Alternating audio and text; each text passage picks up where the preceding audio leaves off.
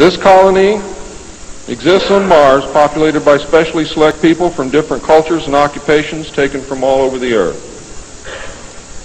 A public charade of antagonism between the Soviet Union and the United States has been maintained over all these years in order to fund projects in the name of national defense when in fact we are the closest allies. At some point, President Kennedy discovered portions of the truth concerning the drugs and the aliens. He issued an ultimatum in 1963 to MJ-12. President Kennedy assured them that if they did not clean up the drug problem, he would. He informed MJ-12 that he intended to reveal the presence of aliens to the American people within the following year and ordered a plan developed to implement his decision. President Kennedy was not a member of the Council on Foreign Relations and knew nothing of Alternative 2 or Alternative 3 that I can find out. Internationally, the operations were supervised by an executive committee known as the Policy Committee. In the United States, they were supervised by MJ-12 and in the Soviet Union by a sister organization. President Kennedy's decision, of course, struck fear into these people. His assassination was ordered by the Policy Committee and the order was carried out by agents of MJ-12 in Dallas. President John F. Kennedy was murdered by the Secret Service agent who drove his car in the motorcade, and the act is plainly visible in the film. It was stated in the documents that I saw. The assassin's name is William Greer. Watch the driver and not Kennedy when you view the film, when you can find a film that even shows it. All of the witnesses who were close enough to the car to see William Greer shoot Kennedy were themselves all murdered within two years of the event. That's fact. The Warren Commission was a farce, and Council on Foreign Relations members made up the majority of its panel. They succeeded in snowing the American people, and they hid the truth. And many other patriots who have attempted to reveal the alien secret have also been murdered throughout the intervening years. And that is why I've been so careful about the information that I released, because it was so important that I get here today to be able to tell you the truth. And what happens after me, after today, is of no consequence whatsoever. But what you do is.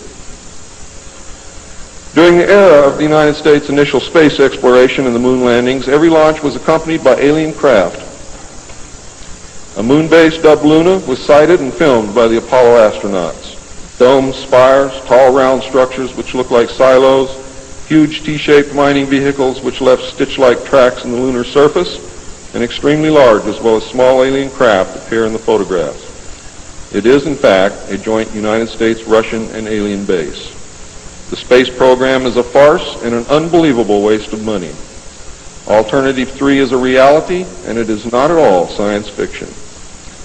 Most of the Apollo astronauts were severely shaken by this experience, and their lives and subsequent statements reflect the depths of the revelation and the effect of the muzzle order which followed. They were ordered to remain silent or suffer the extreme penalty, death, which was termed an expediency. One astronaut actually did talk to the British producers of the TV expose Alternative 3, confirming many of the allegations. However, I do not know who it was. In the book, Alternative 3, the pseudonym Bob Grodin was used in place of the astronaut's identity. It was also stated that he committed suicide in 1978. This cannot be validated by any source, and I believe that several so-called facts in the book are really disinformation. However, I can assure you that Alternative 3 is real. I firmly believe that this disinformation is a result of pressure put upon the authors and is meant to nullify the effect upon the populace of the British TV expose entitled Alternative 3.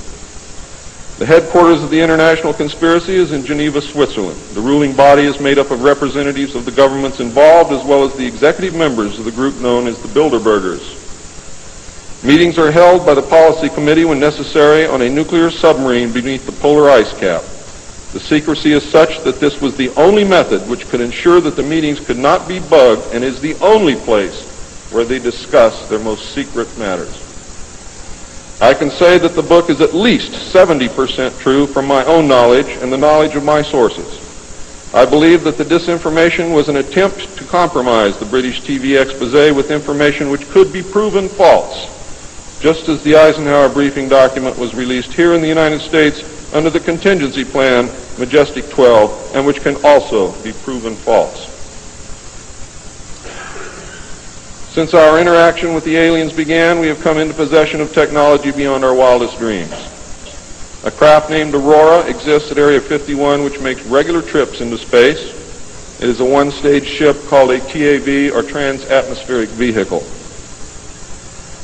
And it can take off from the ground using a seven-mile runway, go into high orbit, return on its own power, and land on the same runway. We currently have and fly atomic-powered alien craft at Area S4 in Nevada. Our pilots have made interplanetary voyages in these craft and have been to the moon, Mars, and other planets aboard these craft. There's a group of pilots at the base who wear a patch, which has a little alien peeking over the bottom. It has, I think, three or four letters at the top. I forget what they are, but John Lear knows what they are. There is a picture of Saturn and a picture of Mars in the photograph. And in the background, there are seven stars, which are strangely shaped just like the stars in the Pleiades group. What that means, I don't know. We have been lied to about the true nature of the moon, the planets Mars and Venus, and the real state of technology that we possess today at this very moment. There are areas in the moon where plant life grows and even changes color with the seasons. And this seasonal effect is because the moon does not, as claimed, always present the exact same side to the earth or the sun. There is an area that wobbles in and out of darkness on a seasonal basis, and it is near this area that the plant life grows. The moon does have a few man-made lakes and ponds upon its surface, and clouds have been observed and filmed in its atmosphere. How many of you remember the period of time, several years, when almost every reported alien craft that was reported landed was on or near water and appeared to be pumping water into the craft. How many of you remember that? Quite a few.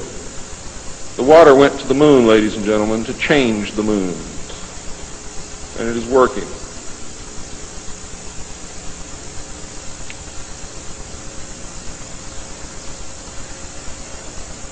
It possesses a gravitational field and man can walk upon its surface without a spacesuit, breathing from an oxygen bottle after undergoing decompression the same as any deep sea diver.